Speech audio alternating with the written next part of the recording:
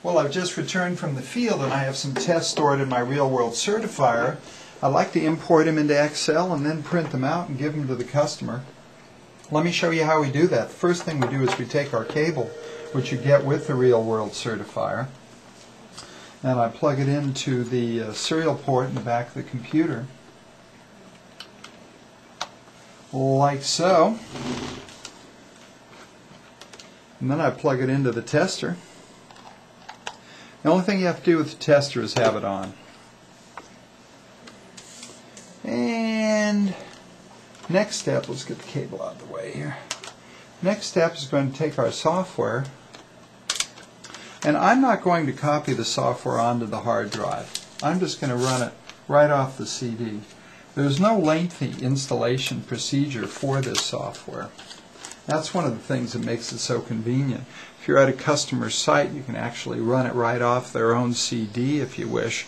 Give the customer copies of the test right off their own uh, printer. All they have to do is have Excel. Now, it says that there's two files on there, a readme.doc file, which you should read when you get a chance, and uh, the spreadsheet file that uh, is the file that we use to import. Now the first screen that comes up is a question. Should I enable macros? And you always want to answer yes to this because we use Excel's own macro language to control the communication between the tester and the PC. Just as a note for Excel 2000 users, if you have your security set at the highest rating, it will not allow you to enable macros. So just go to Tools and lower your security setting and then it'll allow you to run macros. So I'm going to enable macros and then it's going to uh, immediately search for uh, for a tester to see if a tester is connected to the cable and you can always see if it's talking because uh, the real world certifier tells you it's talking to a PC. It warns you that unsaved readings are erased.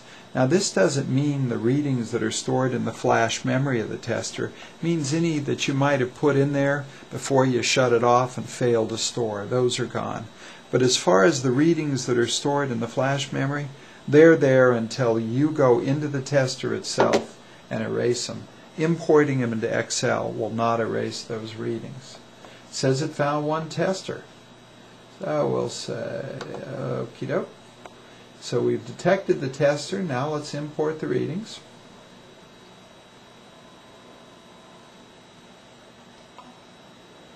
Download from network tester successful. Now let's edit the report. So we're just moving from left to right. It says it found nine tests. Now this is the perfect time to rename these tests if we wish. Cable 1 I could rename to Building 35 outlet 14 if I wished, and so forth and so on. Instead, we'll just take them in sequential order. You can store up to 250 tests. And then later, because it's a spreadsheet, I could go into those spreadsheet cells and change the name at my leisure. So let's go ahead and finish. And you'll see it imports a spreadsheet for each cable. And believe me, when you have 250 on there, it's quite a show to watch these tabs being created by Excel. So, Cable 9 is the latest spreadsheet, so let's just uh, go File, Print, and let's see what Cable 9 is all about.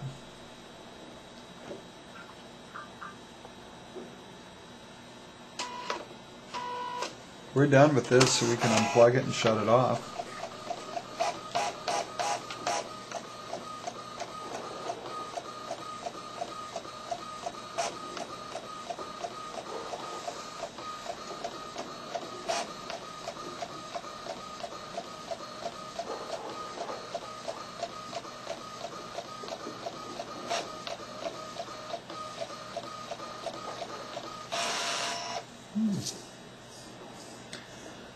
Uh, cable 9. Well, the first thing we noticed is that, uh, we performed both the level 1 and the level 2 tests. If you just had performed level 1, you wouldn't have these bottom two graphs. So we completed level 1, continued on to level 2 to actually connect uh, the cable under test to a uh, network port. Uh, it tells us that it's a 51 foot cable gives us all of the specs that some of the other video clips in this DVD have spoken about. Uh, the wire map, the propagation delay per pair, the skew per pair. Here's your cable category of the cable, almost a Cat6 cable.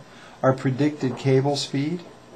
Here's the signal level of the switch that it's plugged into and the predicted cable speed of the combination of the cable and the switch.